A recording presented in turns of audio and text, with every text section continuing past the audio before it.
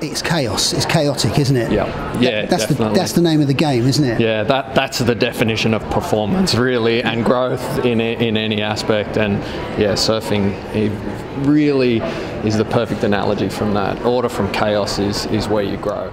What has uh, big wave surfing got to do with corporate culture? It, it's interesting. You can go into the finest of details when you break down my career as a professional big wave surfer and match it to all aspects of business. But the way I see it is everything we do is performance.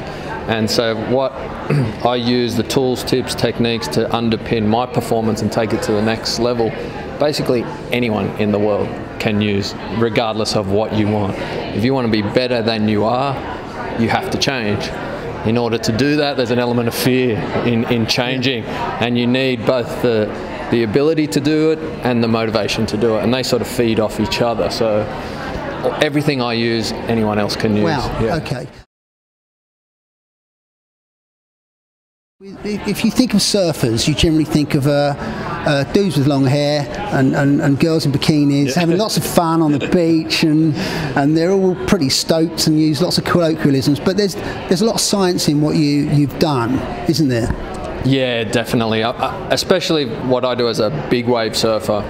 If I take that laid back approach to that, I mean, I probably wouldn't be here today. I'd probably be on the bottom of the ocean somewhere Yeah. and, and wouldn't have been able to deal with all the risk that I do because you, you can go out and surf big waves once and get away with a lot of stuff, but to do it over and over and over again over 15 years, you have to take as much of the risk out as possible. And, and that's, yeah, the sweet science of risk mitigation and everything you do, breaking all aspects of performance down, even in the way your team performs when you're out there, the, the water safety crew that I work with, every aspect you have to be meticulous with to take the, the, the risk out so that you can have that longevity in such a dangerous sport. So, so you're doing you're doing uh, very risky things, um, and, and and all the time looking at risk minimisation.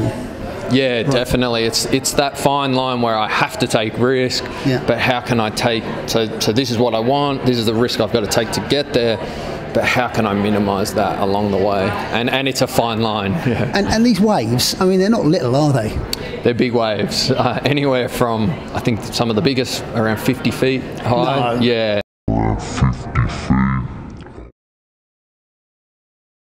Yeah, and we get to a stage where you can sort of only paddle into certain size waves using your own generated speed, and then once it gets bigger than that, you have to use jet skis to actually put you on the wave because the waves are so big and they're moving so fast. So A 50 foot wave. yeah, 50 foot waves, big big mountains of water.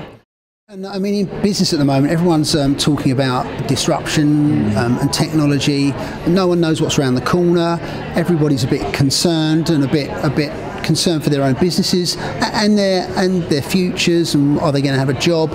Um, I mean, the sea is probably the cruel sea is the best metaphor, isn't it, for uh, for life and, and how to adapt and change and, and I guess that's where a lot of your success has been with these big corporations. Yeah, definitely. I mean, the, the analogy of the sea being, and especially in the big wave, where I'm chasing storms and that constantly changing, volatile nat- nature of the ocean, and then trying to take myself into that environment and extract some sort of performance out of that crazy world is exactly the same as what everyone faces on every sort of level of business from the biggest corporations in the world playing in these huge markets that are constantly changing Yeah. even down to the individual employees having to deal with the volatile nature of the, the teams that are around them and functioning within there. And uh, so there's so many different dynamics and so many different levels.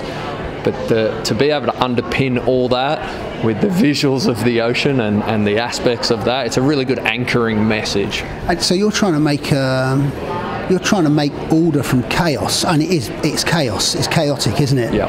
Yeah, That's the that's the name of the game, isn't it? Yeah, that, that's the definition of performance, really, and growth in, in any aspect. And yeah, surfing really is the perfect analogy from that. Order from chaos is, is where you grow. It's just on that very fine edge of, of trying to just establish enough order to get the performance out and not falling victim to the chaos. So right on the edge of catastrophe, basically. Perfectly, yeah, okay. right on the very edge. And and that's the thing. The what predicts our level of success in the surfing world. So it's how well I rode a wave is how close I got to that chaos. So how where I position myself inside the chaos of that huge barreling wave.